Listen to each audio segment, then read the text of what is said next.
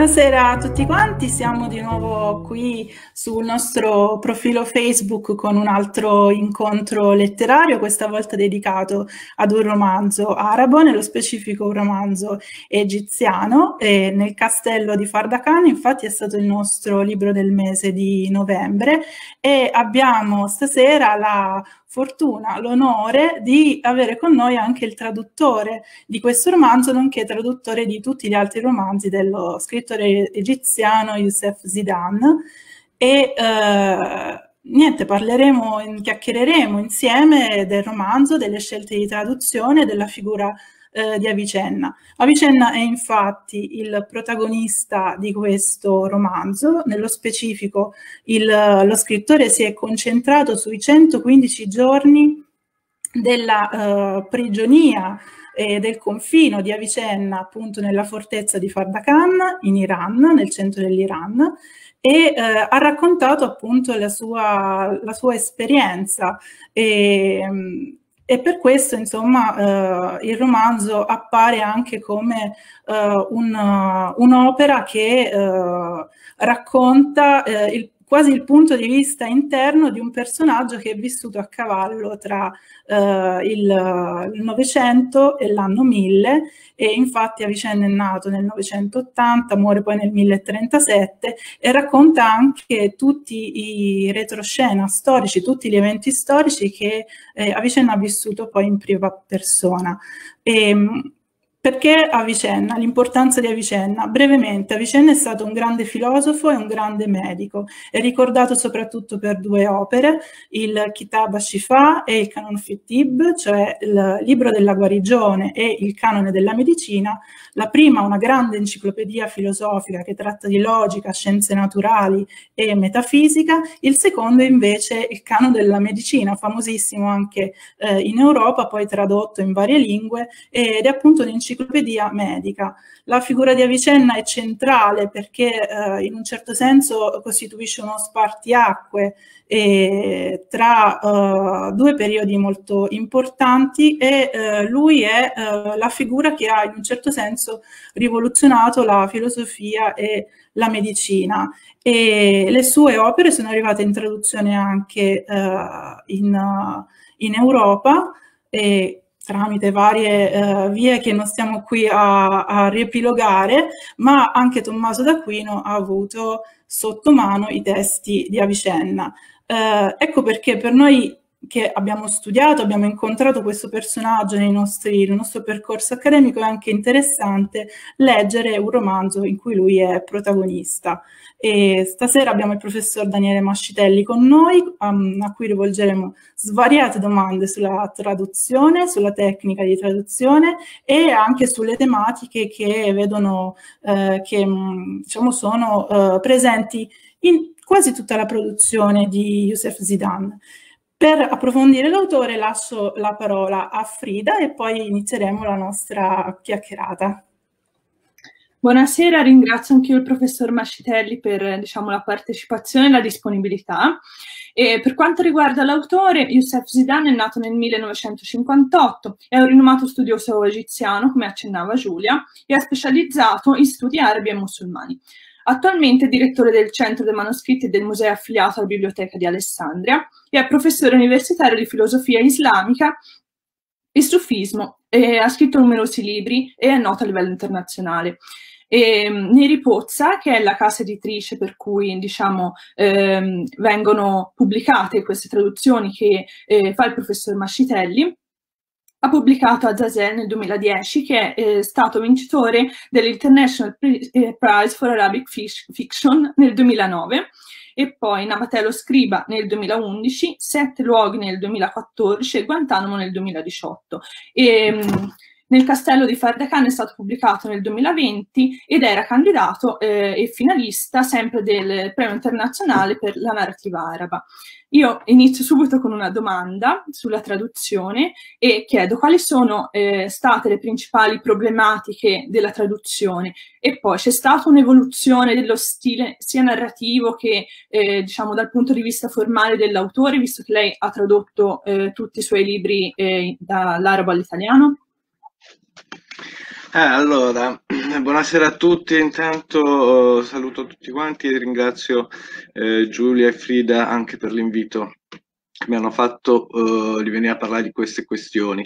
E, um, quali sono le, le, difficoltà? In realtà um, entro subito in argomento senza uh, preamboli lo stile narrativo, lo stile, diciamo, la prosa di, di, di, Zidane è abbastanza semplice, abbastanza classica anche, e, ehm, soprattutto quando appunto lui mh, ehm, ha scritto parecchi, diversi romanzi storici, quindi eh, utilizza un linguaggio che può essere effettivamente collocabile anche in un certo, in, in un passato, quindi ehm, utilizza un linguaggio abbastanza classico, ehm, piano, lineare, senza, ehm, senza, colpi di scena, senza grosse sorprese. Ehm, le difficoltà eh, poi sorgono, chiaramente dipende dai, dai, dai, diversi romanzi, perché appunto eh, ci sono dei piccoli adattamenti nel suo stile, da un, um, da un momento all'altro proprio perché eh, cerca anche di rispecchiare quello che è il linguaggio del tempo in cui eh, la storia dei vari romanzi è ambientata. Ehm, un'altra cosa e un'altra difficoltà può essere il fatto che ehm, eh, pur avendo appunto uno stile abbastanza piano, regolare, comunque ehm, e vi si aggiungono um, molto spesso dei momenti, tra virgolette direi più riflessivi, in cui ci sono dei cambi di soggetto, ehm, per cui eh, si passa dalla terza persona alla prima persona, da un narratore a, un, una voce narrante, quindi che parla in prima persona, e questa cosa è, a volte è un po' spiazzante. Eh, nella lettura in arabo in realtà no, però poi quando lo si va a tradurre eh, c'è sempre il problema di rendere comprensibile qualcosa che mh, mm, eh, sta nella mente dell'autore e uno lo intuisce, ma all, mm, bisogna vedere se poi nella traduzione funziona. Eh, in, questo, in, questo, romanzo, nel Castello di Farracan, inoltre c'erano citazioni, molte citazioni da testi eh, appunto di, di, di Avicenna, a volte non proprio letterale, ma insomma non proprio letterali, ma eh, ampi brani di citazione che quindi eh, risentono della, della, de, dello stile della penna di Avicenna stesso, quindi eh, qualcosa che un, un, autore che scriveva eh, praticamente mille anni fa. E, e, e lì ovviamente eh, vi si, si, creano delle complicazioni sia nella questione dello stile sia nel fatto che eh, si tratta di mh, testi di tipo filo- filosofico a volte e a volte anche brani di poesia, insomma, quindi ci sono tutta una serie di accortezze. O maggiore attenzione che la, la, traduzione, il lavoro di traduzione eh, necessita in questi casi. Eh, piccoli brani di poesia Zidane li ha sempre usati in tutti i suoi, in tutti i suoi romanzi, eh, non sempre li, mh, di, di, solito sono farina del suo sacco, diciamo, sono proprio cose sue, ma a volte le spaccia per eh, eh, appunto brani di uh, testi trovati o recitati da qualcun altro, insomma. E, e anche lì appunto si vede come, mh, mm, ripeto, pur avendo uno stile molto piano, molto lineare nella narrazione, eh, però si diverte a volte ad usare stili diversi per, per queste piccole eh, citazioni o pseudocitazioni. In questo caso poi dicevo, eh, c'è anche, essendo l'ambientazione in, eh, ambientato appunto in, in, nel mondo iranico fondamentalmente, che è quello in cui si mosse e visse eh, a Vicenna, ehm, eh, è mh, mm, un testo con molti riferimenti, nomi, eh, toponimi, ma anche parole persiane, sia parole persiane che sono entrate nell'arabo, sia parole persiane che non sono assolutamente entrate eh, nell'arabo e quindi eh, in alcuni casi bisogna anche lì stare un po' attenti e cercare di capire, eh, non sono esperto di persiano, ma insomma eh, ricostruire anche lì eh, non solo i significati ma la possibilità di tradurli, insomma. Quindi queste sono le, le difficoltà della traduzione. Poi ce ne sono tantissime, tantissimi piccoli problemi. Uno dei primi, eh, per esempio, Zidane l'ha incontrato sempre nel, nei titoli del romanzi stessi, perché sono sempre stati cambiati. A parte Azazel, forse l'unico che non è stato cambiato, gli altri sono stati tutti cambiati. Eh, questo qui io pensavo che rimanesse Farrakhan, invece è diventato nel castello di Farrakhan ehm, e, il, e, addirittura il nome stesso di Avicenna. Ecco perché, per esempio, eh, ovviamente in arabo nel testo originale era Ibn Sina, che è il suo eh, effettivo, il suo vero nome. E nella traduzione, ora leggendo l'arabo, lui non viene, viene chiamato sì Ibn Sina, ma molto spesso col suo nome, perché appunto Sina sarebbe il, il nome di suo nonno. E ci sono molti, alcuni passi in cui il nome eh, di Ibn Sina si riferisce appunto non a lui personalmente ma ai, ai, parenti, al padre o ai nomi. E quindi eh, tradurre tutto con Avicenna è come se appunto lo chiamassimo, noi, noi in realtà chiamiamo Avicenna col nome di suo nonno e, o meglio di suo padre e, mentre invece nel romanzo viene chiamato di solito Abu Ali, che è un, una cunia, un soprannome, o a volte il grande maestro, insomma, con, con altri titoli, e quindi si, crea un, si potevano creare delle confusioni. Alla fine si è deciso anche lì mh, lasciamo Avicenna perché tutti in Italia lo conoscono come Avicenna, eh, eh, però poi devi rimettere a posto anche quelle altre questioni. Insomma. Sì, diciamo che per alcune scelte sono state fatte anche per adattare l'opera al pubblico a cui poi è destinato in Italia, quindi diciamo Avicenna è nota a tutti in Italia come Avicenna e è, è, più pratico renderlo così, anche se chiaramente una delle prime cose che ho fatto notare a Giulia è proprio chissà com'è nel testo arabo, sicuramente non c'è scritto Avicenna, ecco, non sempre Ibsina. Sì, infatti, infatti. Eh, ecco sì, tornando un attimo sulla, diciamo, sulla resa, dei, eh, queste, diciamo, di questi aspetti particolari, i titoli e, le, e i passi ripresi dalle opere, eh, quanto lei è intervenuto a diciamo, sistemare la, una traduzione che potesse essere il più comprensibile possibile per un pubblico che non ha dimestichezza con eh, le opere di Avicenna, che eh, ehm, le opere filosofiche sono terribili eh. perché sono che agli stessi filosofi risultano ostiche ovviamente perché ognuno poi si specializza eh, di più in qualcosa e eh, lo stesso Avicenna aveva messo a punto un suo lessico e, ehm, per cui qual, qual è stato il meccanismo? Come, come ha agito? Allora, eh, questo infatti è stato un po' una cosa problematica. Io ho cercato di intervenire il meno possibile, ehm, cioè cercando appunto di rendere il testo anche laddove ehm, questo è sempre un po' una, una problema un problema che il traduttore deve eh, superare, a volte anche con coraggio. Cioè, se il passo è ostico, ma è ostico da capire, eh, anche perché proprio il concetto è ostico da capire, e lo stesso autore arabo, a volte forse qualche intervento l'ha già, già fatto eh, Yusuf Zidane, probabilmente, di piccoli adattamenti.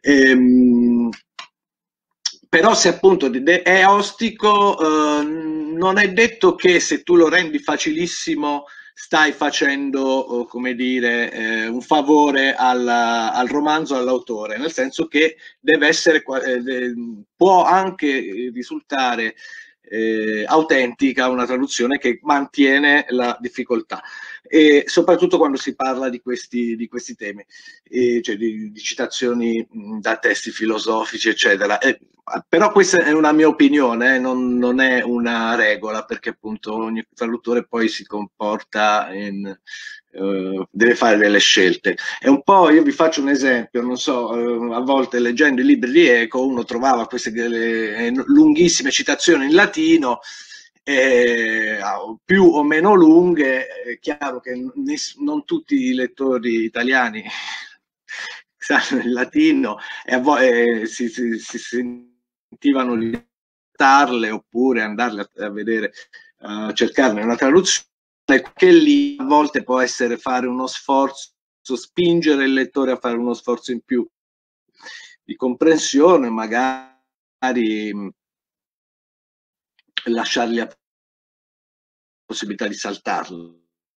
Insomma, sono le grandi regole che dettava anche Daniel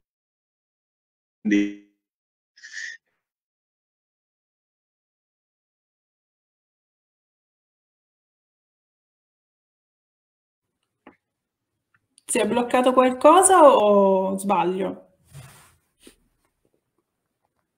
Io ti sento bene. Ok, no perché... Mh, no, un rallentamento. Era stato un rallentamento, giusto. Ok, um, ecco, rimanendo sull'arabo.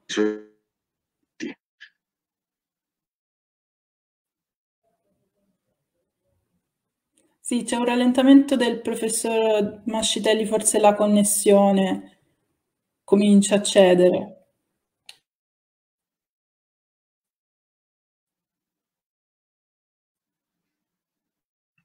proviamo disattivando la telecamera se c'è un miglioramento almeno dell'audio. E prova a fare la tua domanda, Giulia, vediamo un po'. Sì, rimanendo sull'arabo, ecco, c'è un passo brevissimo in cui io credo che ci sia l'opinione di, eh, di Zidane più che quella di Avicenna, perché ad un certo punto, proprio parlando di persiano ed arabo, Avicenna dice una cosa del tipo, io scrivo in arabo perché eh, è, è una lingua migliore per comunicare la le scienze e perché gli arabi hanno perfezionato la filosofia. E questa è un'affermazione che forse Avicenna non avrebbe potuto fare perché eh, Avicenna ha perfezionato la filosofia, nel senso che lui ha teso a migliorare e sistematizzare e poi effettivamente chi è venuto dopo Avicenna eh, ha eh, eh, appurato questo, nel senso si rivolgeva proprio ad Avicenna come il grande maestro perché eh, la filosofia... Ehm...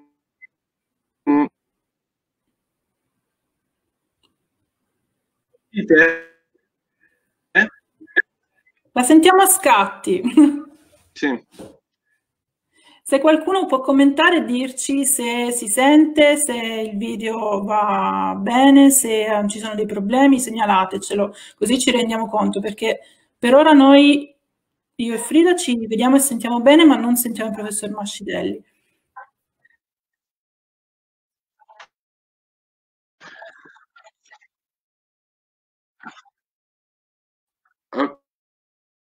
Ok. Allora io um, il video eh, vediamo se meglio.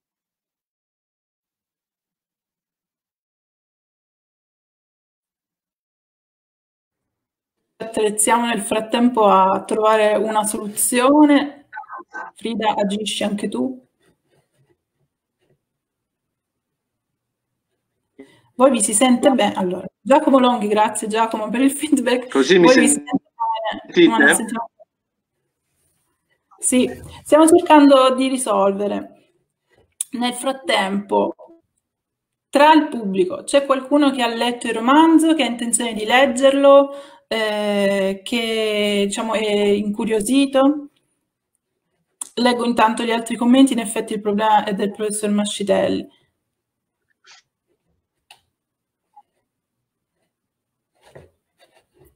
Ok, quindi abbiamo risolto, forse abbiamo risolto. Ok, il professore è in viva voce a livello telefonico, quindi possiamo... Sì, scusate, avuto un problema si sente bene? Credo di più. Perfetto. Bene, la domanda di Giulia l'ha, sentita bene? Se no altrimenti... Eh, l'ho sentita solo nella prima parte. Ok, allora se Giulia puoi ripetere la domanda così almeno affrontiamo anche questo argomento. Sì, eh, brevemente, ad un certo punto Zidane fa dire ad Avicenna di preferire l'arabo come lingua per eh, la scrittura delle opere perché eh, l'arabo è la lingua migliore e in arabo eh, la filosofia ha trovato poi la sua massima espressione. In realtà io penso che questa sia l'opinione personale di Zidane, perché Avicenna, eh, avendo lui stesso criticato e sistematizzato la filosofia eh, araba, ma poi di derivazione greca, eh, non poteva avere questa, eh, questo tipo di pensiero e questa concezione di, eh, de, dell'arabo. Ecco, ehm, per passare quindi alle tematiche di vicenda io eh, del, del, romanzo, io penso che il, il, um, lo scrittore abbia messo in bocca alla vicenda dei pensieri che poi sono ovviamente eh, suoi. Appunto, questo è il pensiero sull'arabo, ma ce ne sono eh, un altro paio. Questo si, uh, si rivede nel, nel nei passi che ha scelto, in come li ha adattati e diciamo, l'impostazione che ha dato ad alcuni, ad alcuni passi ripresi.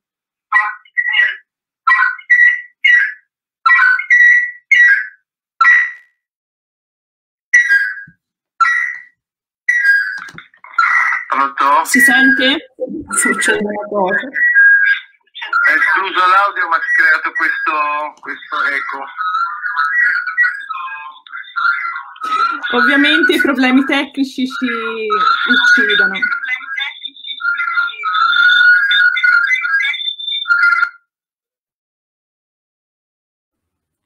Vabbè, ti ho mutata perché eh, c'era un rumore strano. Adesso? Perché eh, c'era un rumore. Sì.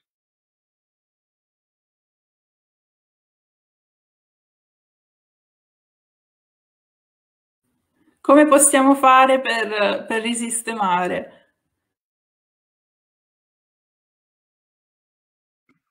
Non ho idea.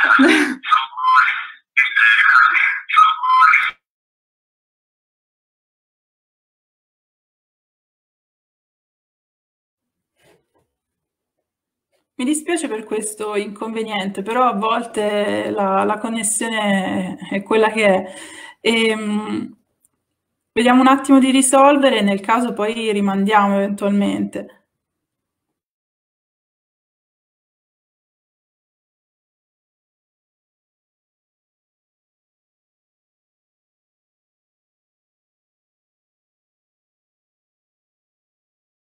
Se Frida riesce a dirmi qualcosa perché non ti sento.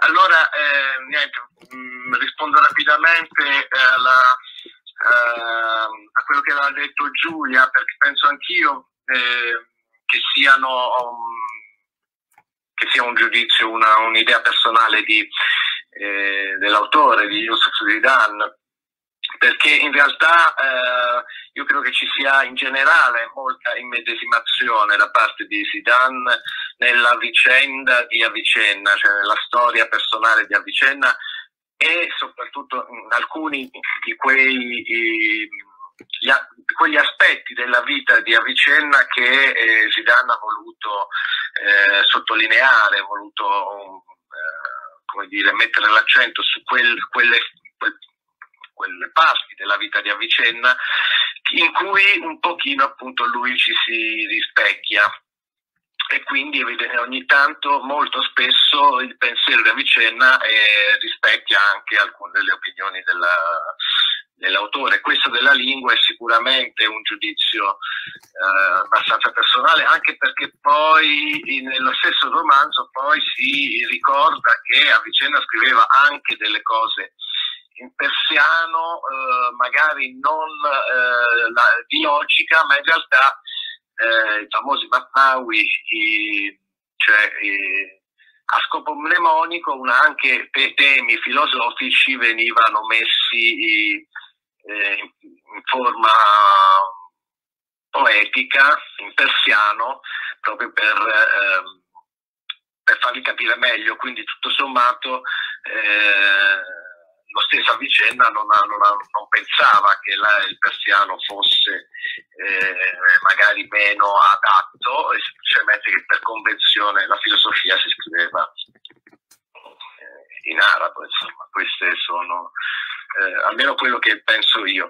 E poi appunto eh, l'altra cosa che dicevo è che ehm, il, um, le parti della vita insomma, di Avicenna che vengono ricordate in tutto, in tutto il romanzo in un certo senso eh, rispecchiano molte eh, delle idee che Zidane ha sempre eh, portato avanti nei suoi, nei suoi, romanzi, quindi non soltanto in questo, eh, che sono appunto i rapporti fra eh, scienza e religione, fra scienza e politica.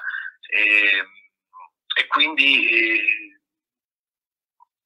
anche per esperienze personali, perché pure anche Zidane ha avuto delle, eh, come dire, delle, dei problemi nei rapporti fra, eh, con le istituzioni, eccetera, e quindi eh, penso che sia un tema a lui abbastanza caro, quindi util, ha utilizzato il, eh, la vita di Avicenna per raccontare anche qualcosa eh, di, mm, non dico di personale in quanto autobiografico, ma di, di una sua visione, di una sua visione delle cose.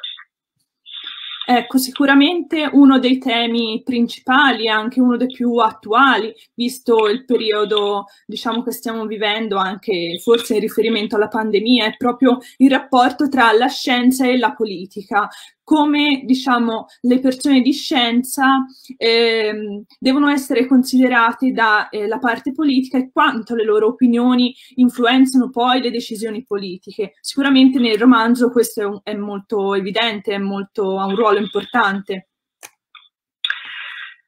Eh, sì, sì, sì, infatti, eh, soprattutto eh, diventa attualissimo nel momento in cui noi pensiamo che Avicenne era un medico eh, prima ancora che filosofo, e mh, mm, i suoi rapporti con uh, il potere, con uh, i regnanti, uh, diciamo, i suoi rapporti con la politica erano principalmente quelli mh, mm, in cui mm, lui ricopriva la, la veste di medico, cioè diventare dottore di corte, dottore di un principe era come dire un, um, il massimo Mm, per la, per la, carriera di un medico e ai, ai medici i potenti, si, insomma i regnanti si rivolgevano perché tutti quanti avevano, eh, potevano avere dei problemi di salute e quindi questa, questo rapporto fra medicina e politica eh, sembra un po' una chiave, mh? Mm? è uno dei punti di contatto fra la scienza e la, eh, e la, politica fin dai tempi di, di, di, Avicenna. È una cosa molto interessante questa, questo tema qui. E, mh, mm, e, poi in un secondo momento, eh, essendo poi il medico di corte un intimo del, del sovrano, ovviamente diventa anche un consulente eh, per, altre, per altre questioni, cioè lo scienziato diventa appunto un, uh, un, punto di riferimento nella corte di un sovrano quando deve prendere decisioni. Ed è chiaro che la, la, la, la posizione di, eh, di Zidane, come ovviamente anche quella di Avicenna, ehm, è quello che la scienza ha un primato diciamo, rispetto alla politica, eh, è un tema che insomma... Eh, parte da Platone, insomma i, i, i governare dovrebbero essere filosofi, ma eh, è un tema che allo stesso tempo anche in questo romanzo poi si scontra con una realtà che, eh, nella quale poi il politico ascolta, si fa curare, ma poi le decisioni le prende in base a tutt'altre, a tutt'altre ragioni, appunto la ragione di Stato, la ragione politica, eh, economica o religiosa come mh, ai tempi in cui che viveva a Vicenna, quindi anche lì lo scontro fra religioni, fra, fra correnti diverse della, eh, di una stessa religione come quella islamica si scontravano e quindi eh, rendevano tutto più turbolento e tutto più insicuro. Insomma. Ecco, eh, io infatti ci ho, ci ho ritro, ritrovo tutto questo in un passo molto breve in cui Zidane eh, mette in bocca una riflessione a, al carceriere, chiamiamolo così, di, di, Avicenna. E si parla appunto del sovrano Gaznavide e uh, a un certo punto uh, Zidane gli fa dire uh, di cosa hai paura? E lui risponde di quelli, ce n'è solo di un genere, tutti quanti nella loro ricerca del potere sono spietati, ma nella spietatezza ci sono gradi e livelli, la spietatezza di quell'uomo è terrificante ed è nota la sua violenza contro gli sciiti, i sapienti e tutti quelli che lo contraddicono. Come si fa a trattare con lui? Quindi diciamo in questo breve passo uh, Zidane mette insieme un po' tutto, questa sua predilezione per lo sciismo che sembra essere la corrente più equilibrata e la condanna e la critica ai, ai sovrani che eh, perseguono il potere fino a, fine a se stesso e quindi sono distruttivi e, e poi anche la, eh, diciamo, la centralità degli studiosi e, mi sembra che sia un tema ricorrente non soltanto in, in questo romanzo ma anche, anche in altri. E, quindi Zidane dissemina qui e là delle, delle, sue opinioni personali in bocca ai personaggi e questo eh, diciamo, vi fa fare una riflessione su un altro, un altro tema, diciamo, un'altra, sì, un'altra tematica che in questo romanzo è, è molto presente, cioè la, la, contrapposizione tra sciiti e sunniti dove sembra appunto prevalere per bontà lo sciismo. Eh, sì, um, qui um, nel romanzo appunto viene messa molto in risalto questa contrapposizione. Il tenere presente comunque che Zidane in realtà è sunnita, non è, eh, non è sciita, ma eh, Vicenna era sicuramente, aveva delle tendenze più di simpatia verso la, la scia rispetto a eh, rispetto alla, alla, Sunna. Ma ehm, eh, il discorso come lo pone eh, a vicenda e in parte anche Zidane è quello che se, ehm, l'obiettivo sarebbe avere una religione senza queste divisioni, insomma, la fede in Dio supera queste divisioni, mentre invece è la politica che sfrutta queste eh, divisioni per, eh, per, appunto per delle ragioni mm, che non hanno nulla a che fare con Dio, insomma. Questa è un po' la, la visione di Zidane e forse anche quella di Avicenna, almeno da come ce la racconta in questo romanzo e quindi bisogna stare un pochino attenti. Però è vero che il momento storico in cui visse uh, a Vicenna è il momento in cui la, um, la Scia, almeno diverse correnti sciite, eh, avevano preso il potere in una gran parte del mondo arabo musulmano, anche di quello che conta, perché eh, la dinastia ismailita appunto di um, sciita, anche se eh, di un'altra branca, controllava gran parte del, eh, del Nord Africa, eh, l'Egitto appunto e anche fino ad arrivare fino quasi alla Siria. Mentre invece alcune dinastie di, di tendenza sciita in Iran, in, in Asia centrale, in Khorasan e in Iran eh, avevano preso il potere addirittura proteggevano il califa Abbaside di Baghdad. Quindi era uno dei momenti di massima espansione del, della scia e quindi eh, la contrapposizione in quel periodo, in quel secolo, era molto molto molto forte, molto più di quanto non lo sarà eh, nei secoli successivi e un pochino però ricorda anche quella che, eh, che vediamo oggi, o almeno che così ci vogliono far apparire questo, questa contrapposizione questa, eh, fra uh, paesi a maggioranza sciita, popolazione a maggioranza sciita e, e il blocco sunnita invece ehm, che, eh, che, che, appunto si contrappone, cerca di arginarlo, eccetera. E, ehm, eh, la situazione attuale, ovviamente anche in questo caso, eh, la religione è solo un, un pretesto, insomma. Però eh, un, io, io, ci vedo un certo parallelismo e credo che Zidane l'abbia scelto, l'abbia, abbia scelto di sottolinearlo anche per questo motivo. Benissimo. Un, un, tema differente completamente da quello che abbiamo appena trattato è il ruolo delle donne, delle figure femminili in questo specifico romanzo, ma in realtà anche negli altri romanzi, diciamo, di Zidane. Eh, qual è e come mai vengono, diciamo, descritte queste tre figure di donne molto differenti che eh, compaiono nella vita di Avicenna e anche in realtà il ruolo della madre di Avicenna. Qual è, qual è il ruolo di queste tre donne e che cosa poi ci lascia intuire sull'ideale dell'amore e delle relazioni, eh, diciamo, di questo Avicenna di Zidane? Ehm, è una, domanda, una questione interessante, infatti, perché Zidane... Ehm, eh, pur con ehm, insomma, viaggiando in periodi in cui eh, le donne non erano uh, molto, uh, come dire, eh, considerate, molto, a volte neanche molto rispettate, eh, ci presenta sempre delle figure dei femminili mh, abbastanza forti, a volte anche un po' ingenue, ma ehm, eh, sempre vengono presentate mm, quasi sempre in maniera positiva. E forse la, la cosa mm, che possiamo un po' rimproverare, che io almeno io rimprovero a Zidane, è che ehm, dà molta importanza anche all'aspetto della sensualità della donna, ma è forse l'aspetto che lui eh, vede alla fine critica di più, in, forse l'unico aspetto che mette in cattiva luce rispetto ai suoi personaggi femminili.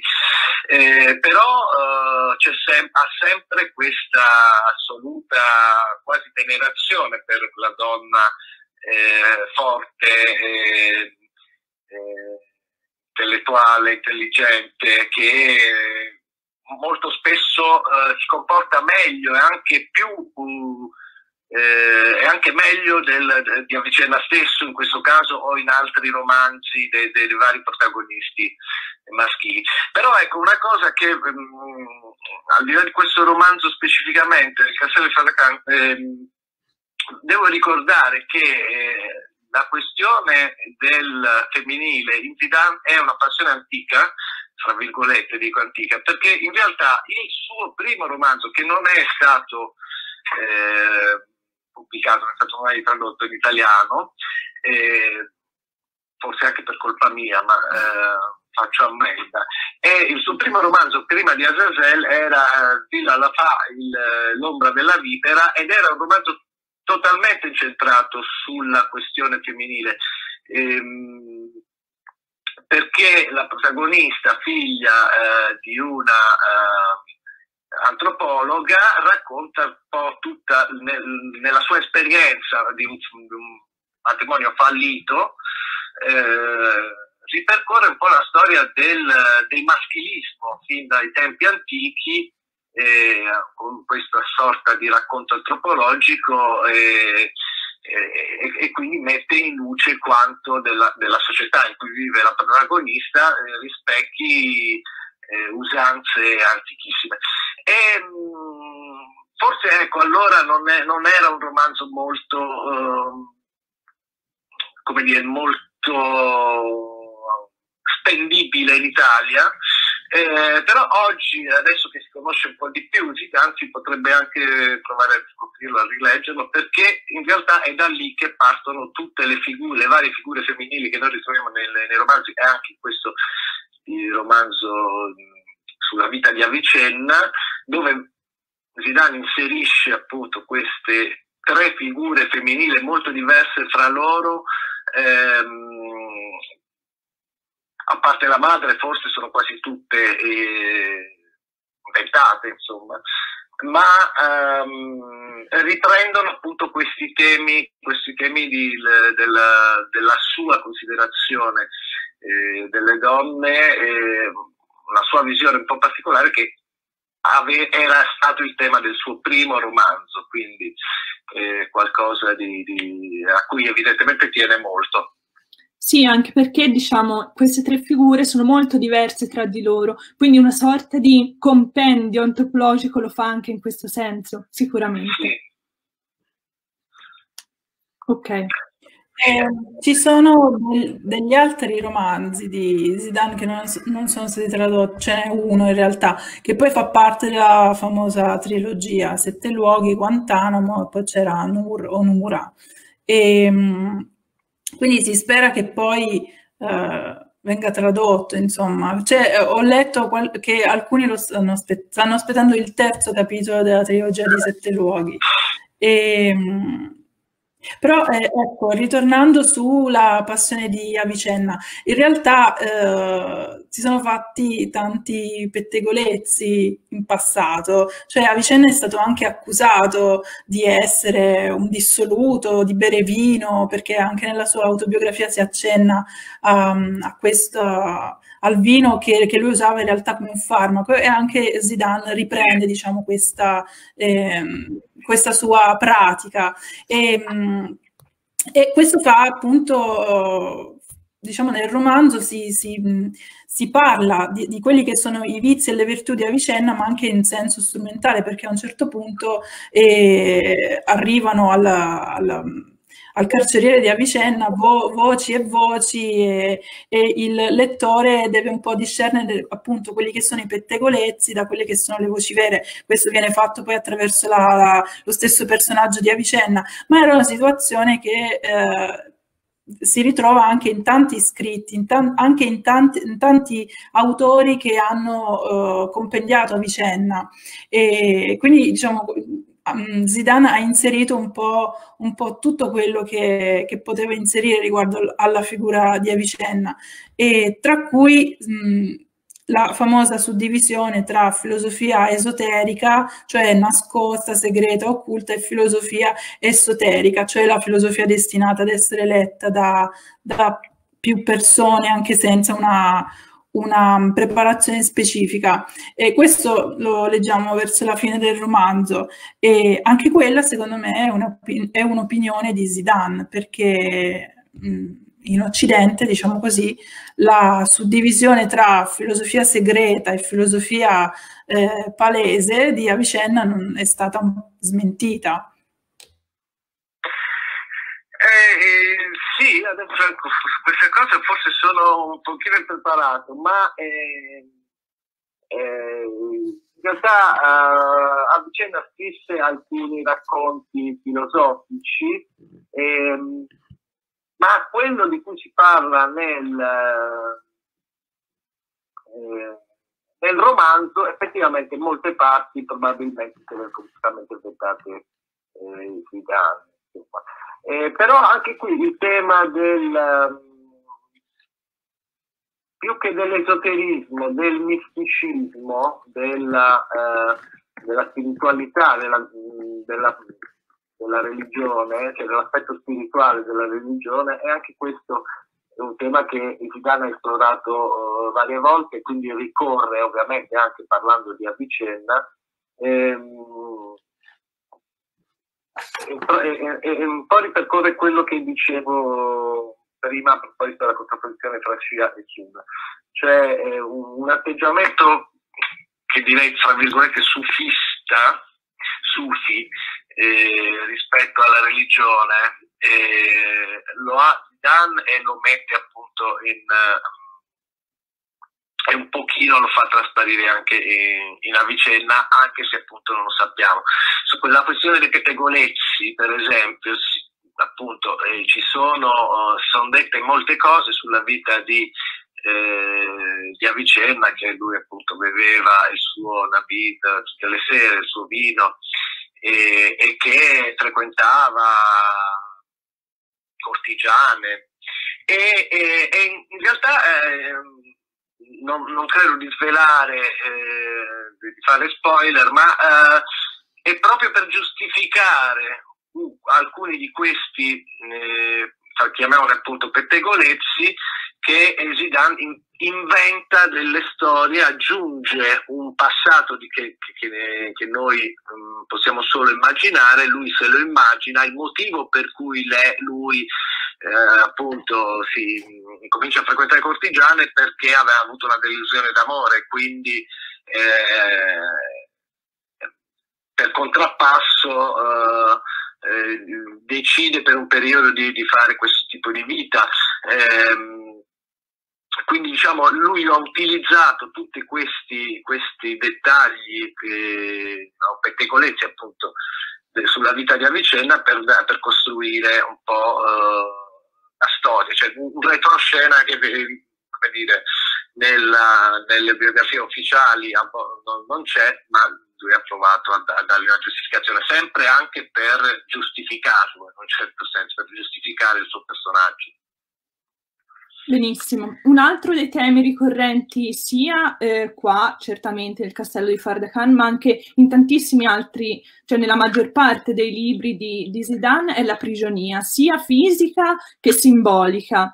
Eh, come mai l'autore è legato così tanto a questo tema e eh, forse è legato anche alla sua figura di intellettuale? Sicuramente qua nel castello di Fardakan è innegabile pensare a un'attualizzazione, quindi a un intellettuale che comunque viene eh, imprigionato e è influenzato dalle decisioni eh, dei potenti, però comunque il tema della prigionia è presente anche in altri libri come ehm, il Nabateo lo scriba, che non è una prigionia fisica, ah, oddio comunque, diciamo non è principalmente una prigionia fisica, però è comunque una prigionia importante, un, diciamo, un trattenere una persona sia dal punto di vista fisico che nel destino.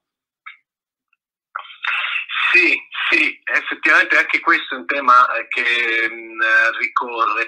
Ora, ehm, nella, nel romanzo, ehm, quest'ultimo, questo, nel Castello di Farracan, la prigionia è effettiva perché racconta appunto il periodo di 3-4 mesi di confino che eh, a visse appunto questo, nel castello di, di Fartacan. Ehm, in altri casi la prigionia fisica è appunto quella di Guantanamo, in altri casi una prigionia ehm, tipo uh, sociale o, fisico o, men- o mentale, insomma, ehm, psicologico, ma eh, adesso che mi ci fai pensare, penso che anche questo forse un, potrebbe essere un eh, riallacciarsi al tema eh, di cui si parlava prima, cioè la, la, una visione spiritualista o mistica della vita, per cui la prigionia dell'uomo è la prigionia della vita quotidiana, della sua vita materiale, ehm, mentre la libertà è, è, è, è quell'apertura mentale che ti può consentire sia una visione eh, appunto spiritualista della religione o eventualmente anche la conoscenza. Ehm, non so se appunto possa essere sempre visto, eh, interpretate queste prigionie come, questo tema della prigionia come metafora di questa cosa che ho detto, però ehm, effettivamente il fatto che lui mh, insista su alcuni temi in, alcuni, in alcune pagine lo dice anche chiaramente eh, il corpo fisico diciamo, dell'uomo diventa comunque la prigione dell'anima insomma eh, adesso detta in termini molto, eh, molto semplici ehm, però credo che sia appunto uno di quei, di, di quei temi che in un certo senso legano eh, tutti, tutti, i momenti di prigionia eh, di cui racconta Zidane.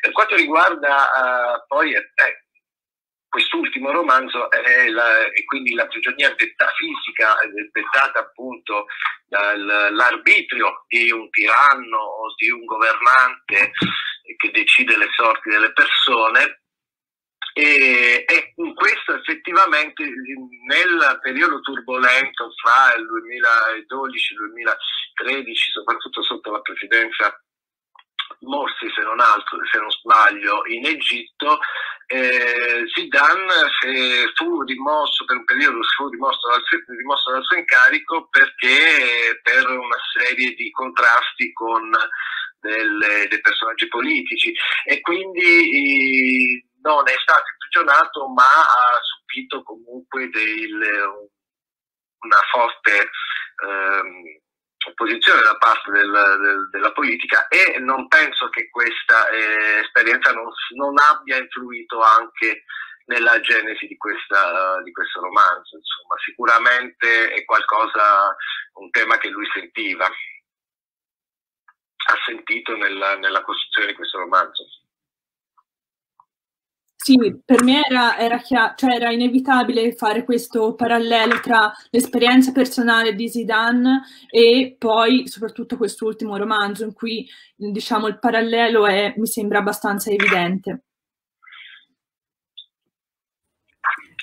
Un'ultima domanda, poi ovviamente chi vuole, chi è interessato, chi ha letto il libro può scrivere eh, fra i commenti e noi leggeremo eh, il commento probabilmente risponderà il professor Mascitelli. Comunque, un'ultima considerazione.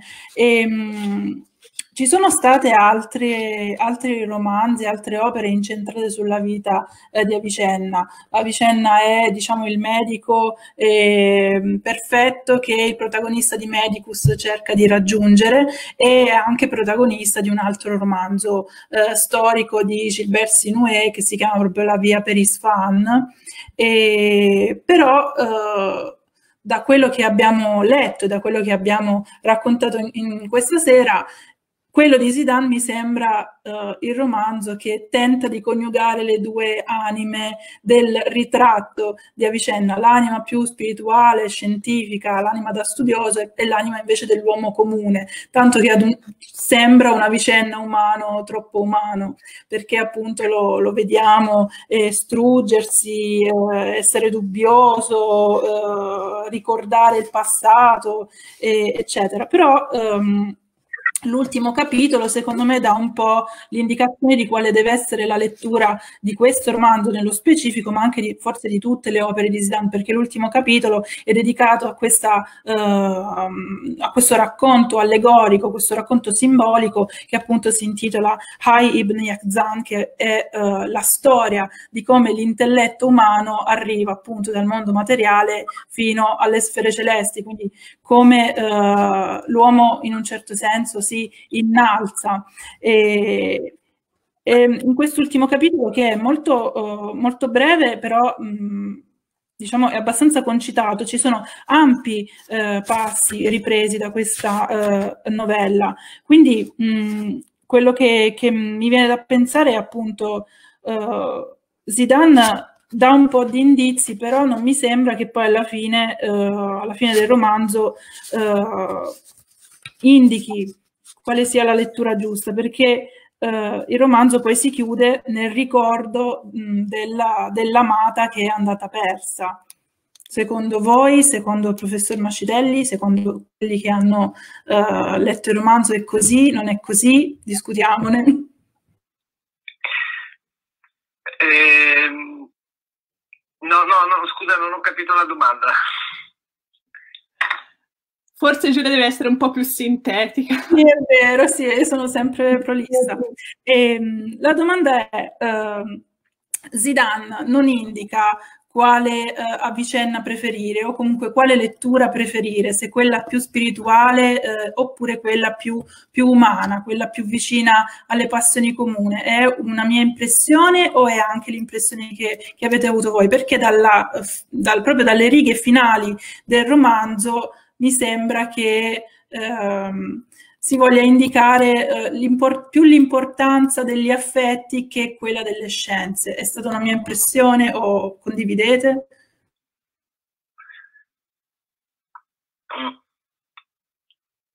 Allora, io posso dare una mia opinione, poi appunto anche gli altri lettori eventualmente possono, sicuramente possono dare la loro.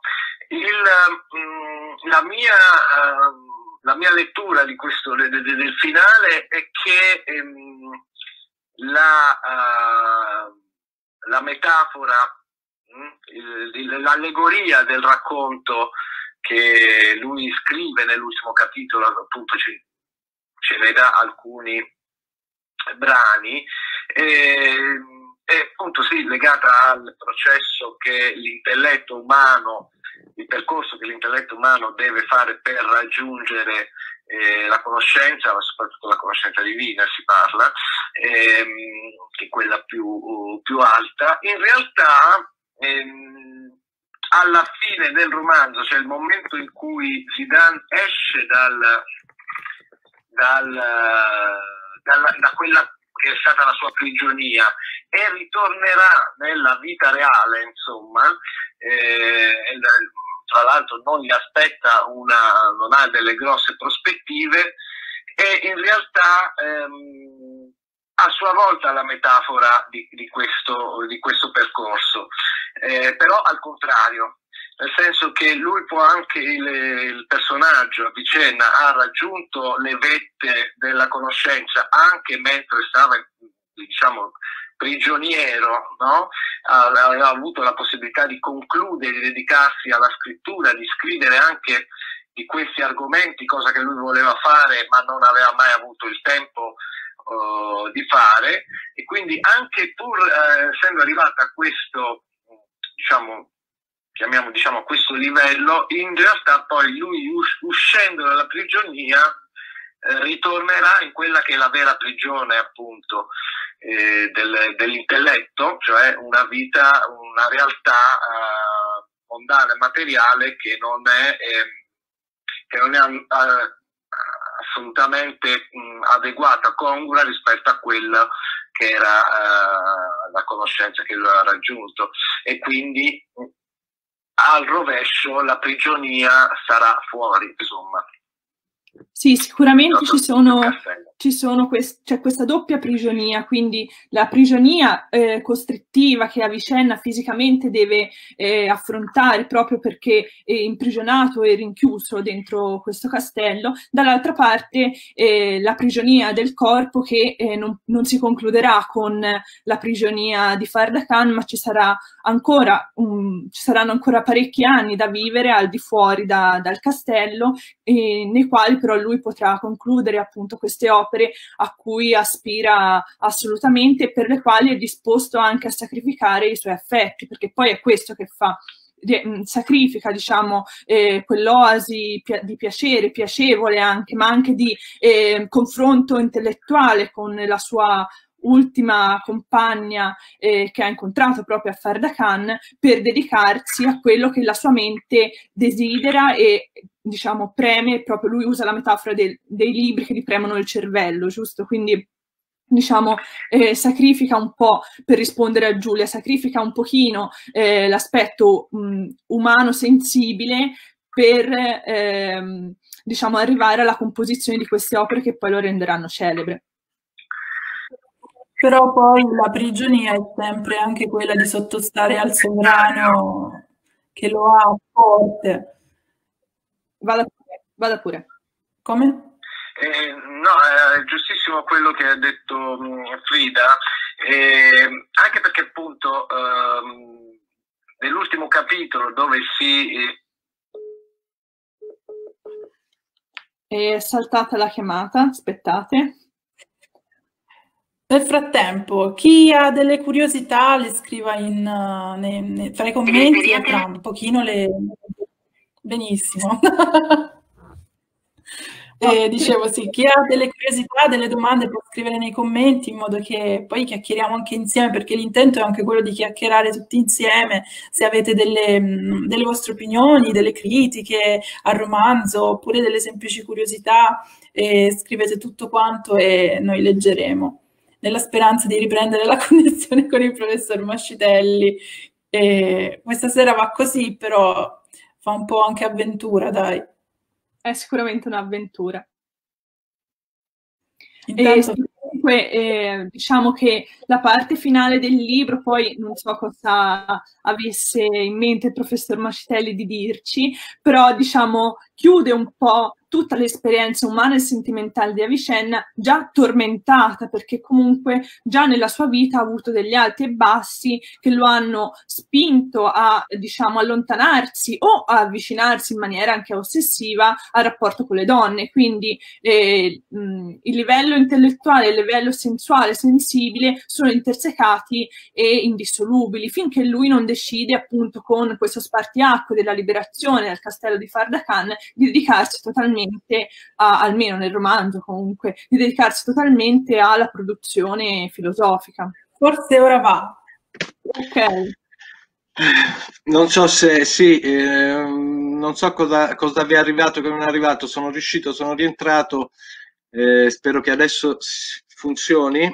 Per ora si sente e si vede bene, quindi... Ok, allora almeno un altro quarto d'ora dovrei averci. Va bene, comunque mh, mm, non so cosa, cosa abbiate sentito di quello che volevo dire, ma insomma senza che lo ripeto non vi tolgo altro tempo, se magari appunto ci sono eh, altre, eh, si può andare avanti se ci sono altre domande o altri, o altri commenti. Sì, siamo arrivati al momento e a, il suo commento su, su diciamo, eh, la differenza tra ehm, la passione di Avicenna verso le donne e la sua scelta di dedicarsi completamente alla fine del romanzo alla produzione più intellettuale e filosofica. Eh, sì, appunto, su questo, uh, su questo su questo tema eh, volevo fare solo una, una, piccola, un piccolo commento, cioè il, um, il momento in cui lui a Vicenna eh, riesce, eh, arriva a conoscere, ad avere l'esperienza di un'unione con una donna che praticamente è un angelo, no?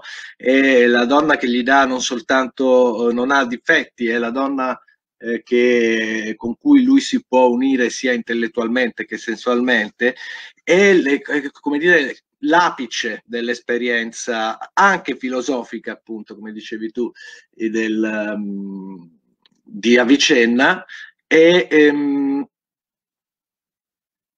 e però eh, lui lo deve abbandonare. È un po' come mh, quasi una metafora dantesca, cioè si, si può arrivare al paradiso grazie un, la, alla sua Beatrice, diciamo, ma poi quando si arriva a rivedere le stelle, eh, in realtà per Avicenna è un ritornare dentro una, uh, una realtà, una prigione, cioè uscendo dalla prigione in realtà rientra nella prigione. Io almeno io l'ho letta in questo modo e anche qui è una, uh, una lettura che in realtà ci, forse ci dà anche Zidane eh, proprio per giustificare mh, alle scelte di, di, di, di, Avicenna, della vita, insomma le, le vicende della vita di Avicenna come ci sono state raccontate.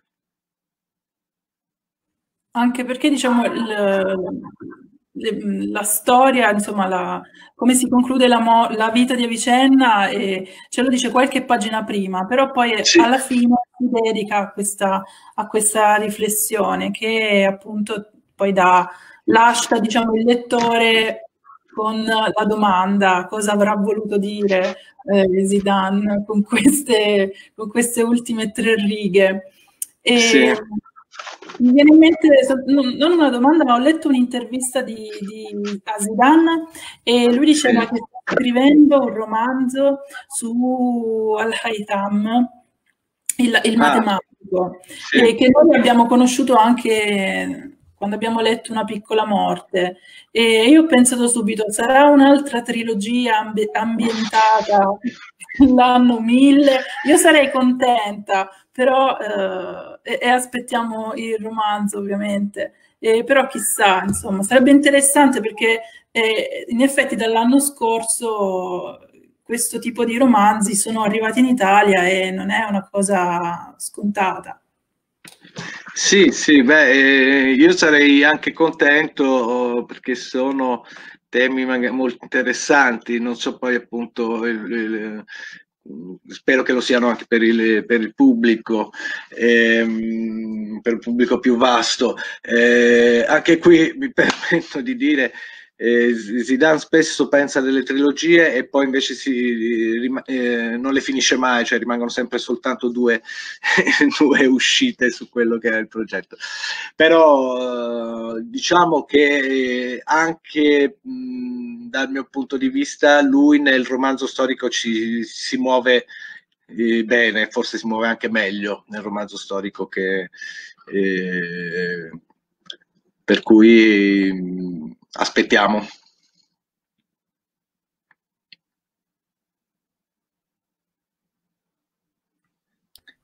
Non vedo domande.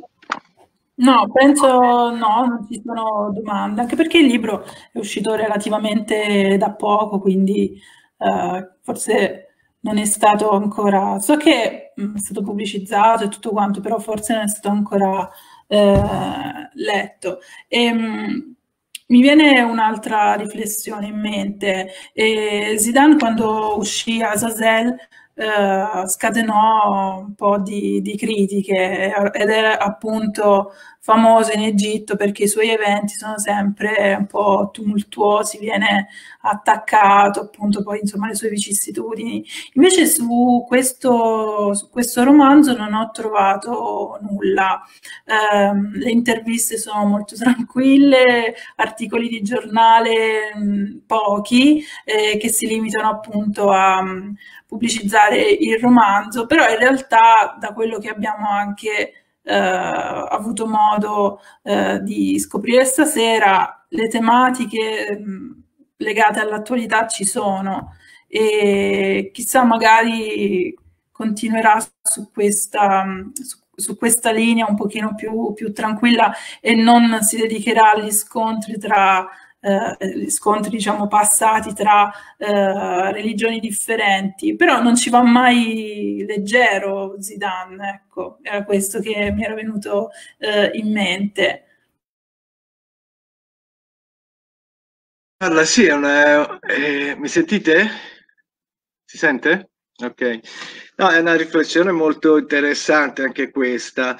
Eh, devo dire che effettivamente Azazel era mh, creato molte polemiche in Egitto, soprattutto perché c'era un. Mh, eh, venivano tirati in ballo in realtà i cristiani. Ora, la, mh, i rapporti fra i cristiani, copti e, e, musulmani in Egitto hanno avuto dei momenti abbastanza eh, caldi negli ultimi decenni in alcune situazioni e quindi eh, in quel romanzo si poteva sembrare un attacco verso i cristiani egiziani di Alessandria eh, e, e, e, quindi in Egitto era molto eh, un tema molto più del, molto delicato.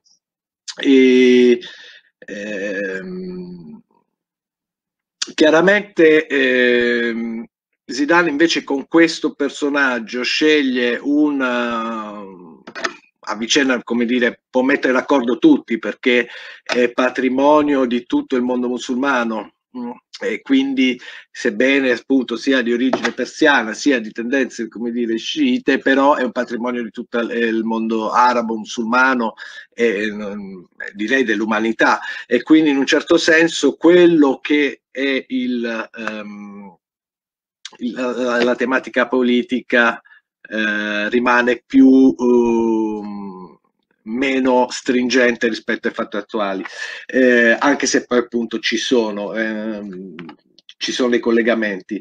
Eh, Zidane poi effettivamente eh, diventa un personaggio anche televisivo, insomma, nei suoi dibattiti, eh, quando è presente nei dibattiti si crea sempre la polemica, quindi per un, probabilmente mh, ha trovato anche questo, questo ruolo.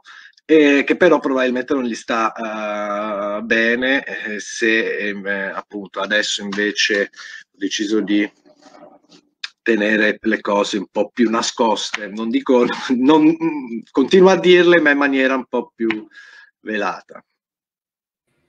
Abbiamo un commento e di Giacomo Longhi. Giacomo Longhi, tra l'altro, è traduttore dal persiano e quindi potrebbe aiutare con i termini eh, specifici.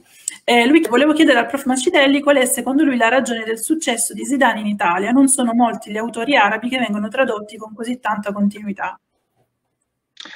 Ehm, sì, devo dire che ehm, me lo chiedo anch'io certe volte, però ehm, diciamo che sì, Alzazel aveva avuto una, una, un, un, discreto successo, un buon successo anche eh, commerciale, se ne ha parlato molto eh, in Italia e die, al dietro quel, um, quel successo si è costruito un suo eh, pubblico, magari di nicchia, magari che ehm, non amplissimo, ma che ha cominciato a seguirlo eh, con una certa costanza.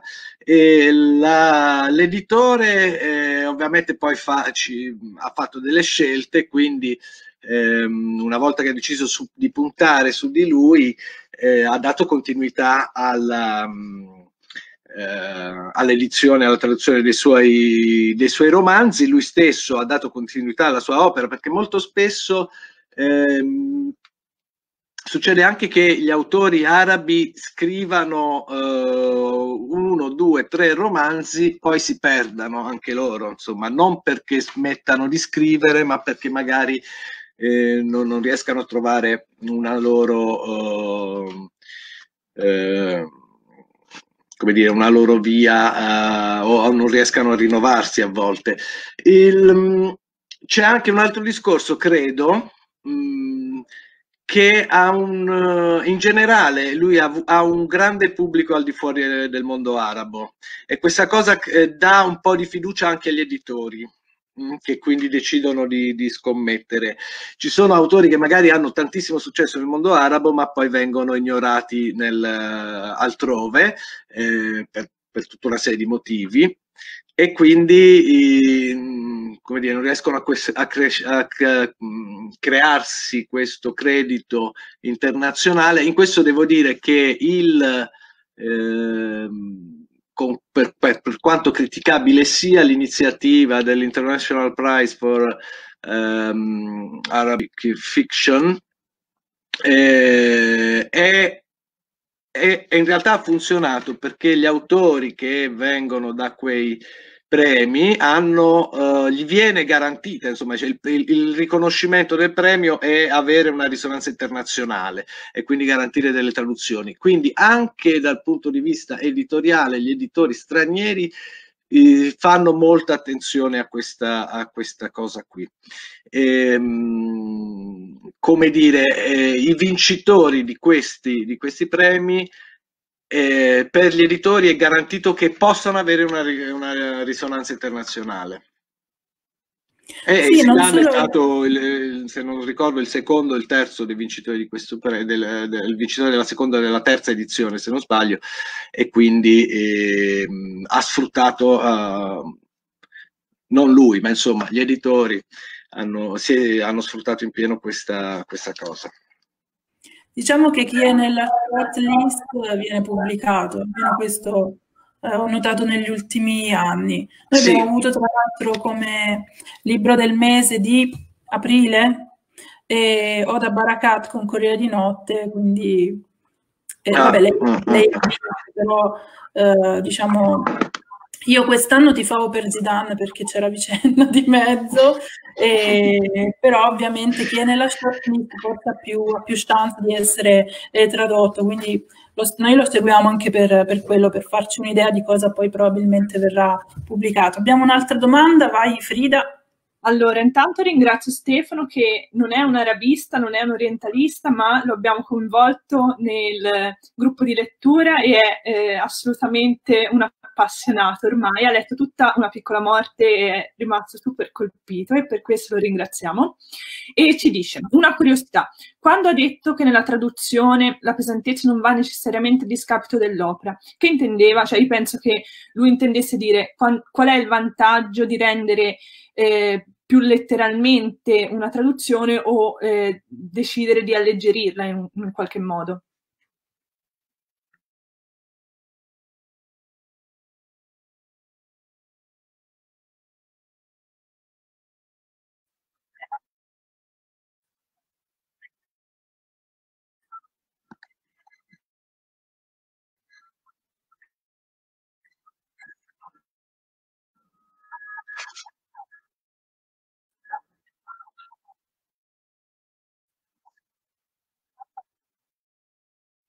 L'abbiamo perso. Sì, non si sente più e va a scatti. Allora più di un quarto d'ora non si può fare.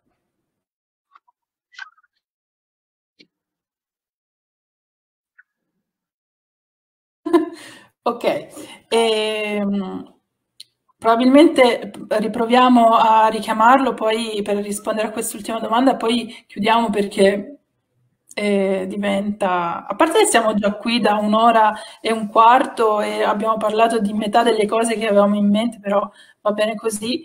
E... Eh, ehm... Forse si sente adesso. Sì, mi sentite?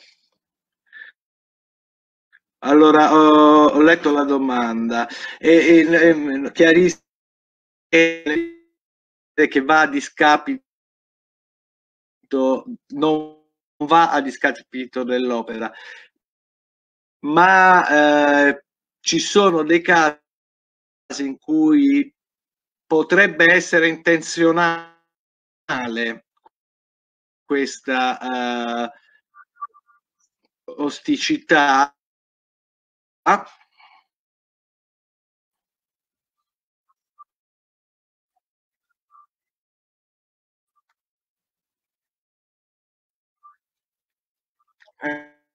eh, eh, no, eh, questo è il problema. Eh, provo a togliere la camera.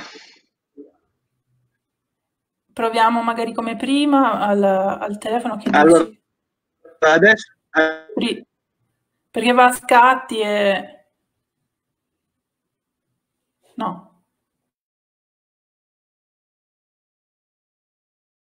Allora, non arriva l'audio. Se esce dalla diretta, io la richiamo, risponde alla domanda e poi chiudiamo così almeno, eh, diciamo, salutiamo i nostri lettori.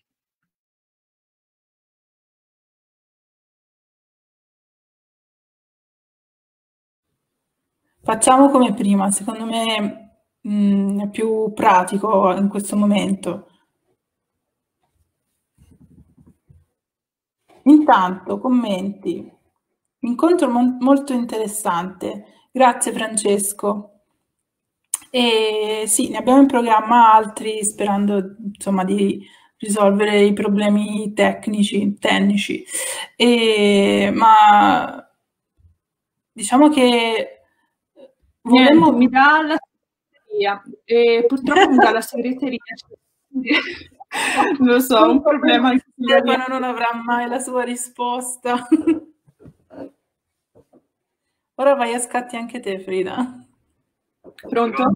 Adesso la sento, benissimo. Ok, eh, scusatemi, eh, effettivamente dopo che di un quarto d'ora la connessione rallenta. Ok, può rispondere allora, alla domanda no, adesso. Volevo uh, questo...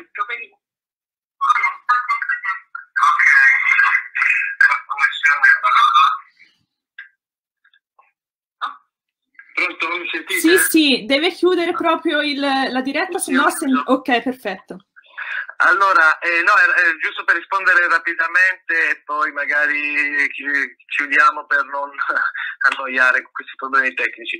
Eh, ehm, la, la, questione sulla, uh, sul pass, sui passi ostici che, che possono eh, non, uh, possono, se possono o non possono ehm, far bene o male al, al, testo. Io semplicemente volevo dire che se in alcuni casi eh, la osticità del testo, cioè un testo difficilmente comprensibile, è voluto, può, in alcuni casi può essere volutamente eh, deciso, appunto, si può decidere volontariamente di rendere qualcosa di più oscuro o, o meno comprensibile, in quel caso se è voluto non, sa, non semplificare un passo per, farlo capire meglio potrebbe non rendere onore a quello che è l'intento dell'autore, o del testo stesso. Questo era un po' ehm, quello che, che devo dire, forse non mi ero espresso eh, benissimo, questo è per rispondere alla, alla domanda molto puntuale che era stata fatta. Sì, benissimo. Tra l'altro abbiamo incuriosito altri lettori che in chat ci stanno scrivendo di eh, voler leggere il libro, quindi siamo contenti di avvicinare persone anche non specializzate o specialiste di queste sia periodo storico sia del personaggio ma anche in generale della letteratura araba e poterla far avvicinare a, invece a queste diciamo letture che per noi sono interessantissime. Io la ringrazio davvero e mi dispiace per i problemi tecnici ma ce l'abbiamo fatta. Io ringrazio voi, anzi sono molto contento che comunque l'iniziativa, che del fatto che voi le queste iniziative le facciate e soprattutto del fatto che abbiano anche una, una risposta, un'accoglienza. Va bene. Ringrazio per, per, avermi dato l'occasione e, e saluto tutti i presenti. Grazie mille, arrivederci e a presto. Arrivederci. Grazie. Grazie, okay. interessante conversazione, stiamo in attesa di altri eventi. Grazie Roby. Eh, sì, sicuramente ci saranno altri eventi. Ecco, stavo dicendo prima, a proposito di questo, l'idea è anche quella di coinvolgere, uh, un attimo, professoressa Barbati, grazie mille, parliamo ai nostri sostenitori accademici, che mm, ci fa piacere insomma essere coinvolte nelle, nelle, varie iniziative dell'Università di Pisa. E dicevo, la, l'idea è anche quella di um, fare in modo uh, di uh, chiacchierare tutti insieme, mm, quindi uh, fateci anche sapere se siete disponibili. Il prossimo mese, lo anticipiamo, sarà di nuovo dedicato ad un libro dall'Iran, anche se questo in qualche modo era dall'Iran, nel senso che è ambientato in Iran.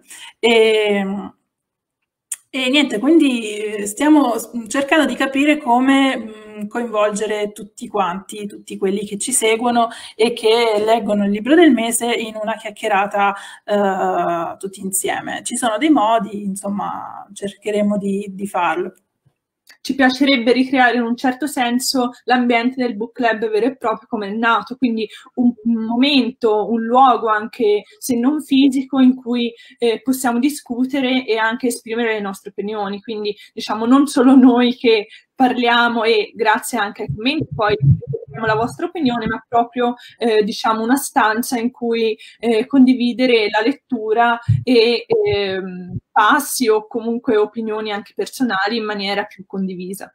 Intanto è riapparso il professor Mascitelli, ora magari vo- voleva dire qualcosa, lo, lo rimetto in, in, streaming. Ok.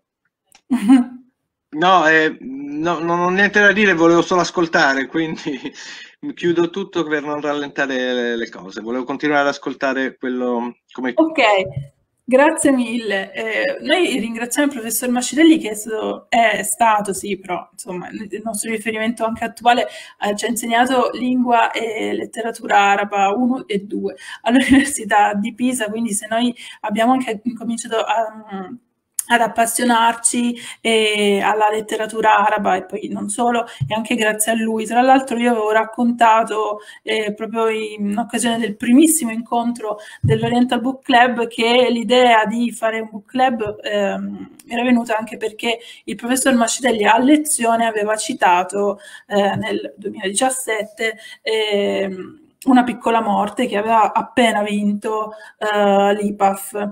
E, International Prize for Arabic Fiction. Quindi diciamo, quando poi è stato pubblicato in Italia e il, il titolo mi è rimasto anche perché è un romanzo su Ibn Arabi, eh, insomma, non è che ti capita tutti gli anni, quindi eh, diciamo lo, lo, lo, stimolo principale è venuto sicuramente dalle lezioni di lingua e letteratura araba. E, Beh, a livello personale il professor Marcelli è il mio relatore della tesi magistrale. Vabbè, non volevo essere pedante, è stato il mio correlatore, quindi vabbè, è tutto A parte tutte le referenze. E sì, diciamo, a noi interesserebbe eh, poter condividere con voi le letture, quindi magari faremo un sondaggio online per capire qual è la piattaforma più adatta e anche capire quante persone magari sarebbero disposte a eh, leggere insieme dei passi, leggere insieme dei capitoli, cosa che per una piccola morte avevamo fatto fatto ed era stato eh, assolutamente utile perché dandoci delle scadenze molto brevi e molto, diciamo, eh, cadenzate, anche a livello settimanale, potevamo condividere opinioni molto dettagliate anche sulla trama del libro, cosa che, eh, diciamo, in un incontro più generale e ehm, che necessita di non avere troppi spoiler, ecco, soprattutto per chi non ha letto, eh, non si può fare. Quindi io spero che eh, diciamo, la partecipazione sia sempre maggiore e comunque già a un livello che forse non ci saremmo mai aspettati quando ehm, abbiamo iniziato online così durante il lockdown. E, e niente, eh, grazie a tutti e facciamo qualche accenno alle prossime al libro del mese, ok? E dicembre è, è dedicato al eh, libro Mio zio Napoleone che è uscito, penso proprio ehm, da pochissimo, da pochissimo sì, in italiano. Fine novembre, sì. Anna Van Zan, giusto?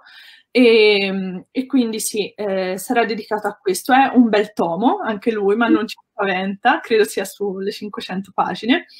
E, però sì, eh, si prospetta una, una lettura interessante e anche forse divertente e ironica, quindi siamo molto curiosi di affrontare questa lettura. Sì, per chiediamo il supporto degli iranisti, soprattutto di Giacomo Longhi, che so che ha comprato il libro. e, ehm, per, poi per tutti gli avvisi, come sempre, noi eh, diamo, diciamo, diamo avviso di tutte le nostre attività sui nostri social, sia sul profilo eh, Instagram che sul profilo Facebook, ovviamente.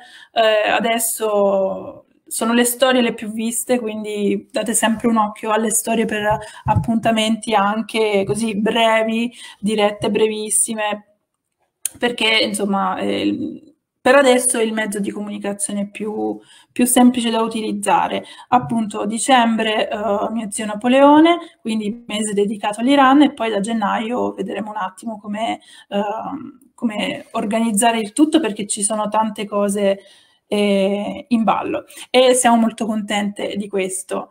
Giacomo Longhi, io sto leggendo e scorre che è un piacere, meno male perché ho visto la, la, la, la quantità di pagine e insomma impegnativo, però se abbiamo letto una piccola morte eh, e va bene, insomma, ce, ce la possiamo fare.